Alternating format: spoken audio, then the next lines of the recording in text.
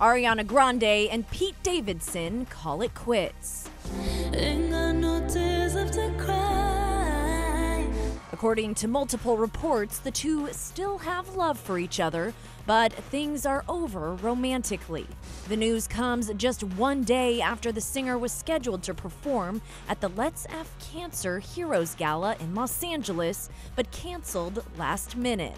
Her manager, Scooter Braun, gave a speech at the event and addressed her absence, saying she needs this time to heal. Lessons learned through love. The 25 year old singer and the 24 year old SNL star got engaged back in June after just weeks of dating. Pete Davidson, thanks for existing.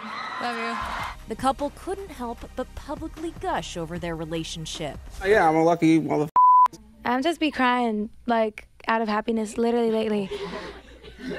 I was on FaceTime last night crying. To who? He was like, Are you okay? And I was like, Yeah. And during Saturday Night Live's season 44 premiere, Pete's cast wasted no time teasing him over their romance. What's the prenup situation? Well, obviously, I wanted one, you know, so God forbid, God forbid we split up and she takes half my sneakers. no, look, I, I'm totally comfortable being with a successful woman. I think it's dope. I live at her place, you know? She pays like 60 grand for rent, and all I have to do is like stock the fridge. Yeah.